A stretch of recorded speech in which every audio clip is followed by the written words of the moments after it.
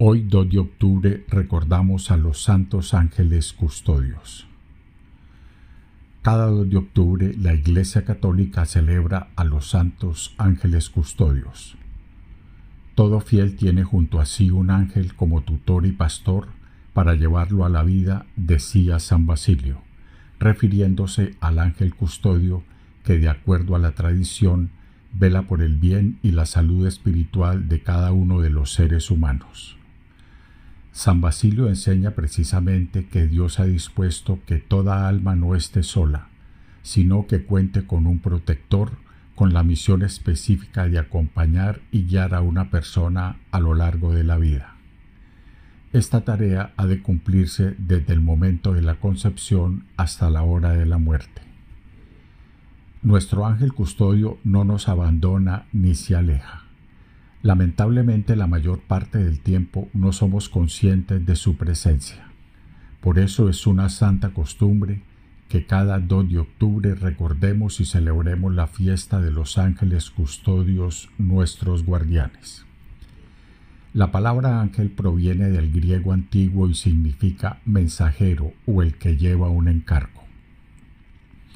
La Sagrada Escritura da cuenta de la existencia de los ángeles y cómo en momentos cruciales de la historia de la salvación ellos han aparecido con el propósito de cumplir una misión especial dada por Dios.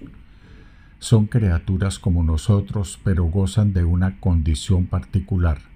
No son seres corpóreos y por lo tanto no están sometidos a las leyes que regulan la materia, el tiempo y el espacio. Los ángeles custodios son los espíritus celestiales de los que habla el Salmo 90. A sus ángeles ha dado órdenes Dios para que te guarden en tus caminos. Y de los que da cuenta el Evangelio cuando, por ejemplo, Jesús dice, Cuídense de despreciar a cualquiera de estos pequeños, porque les aseguro que sus ángeles en el cielo están constantemente en presencia de mi Padre Celestial. Mateo 18:10. San Agustín dice respecto a ellos, el nombre de ángel indica su oficio, no su naturaleza. Si preguntas por su naturaleza, te diré que es un espíritu. Si preguntas por lo que hace, te diré que es un ángel.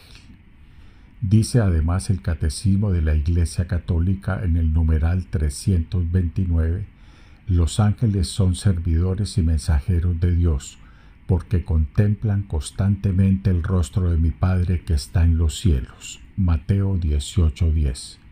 Son agentes de sus órdenes atentos a la voz de su palabra. Salmo 103. La Iglesia celebra la fiesta de los ángeles custodios desde el siglo XVII. Dicha celebración fue instituida por el Papa Clemente X.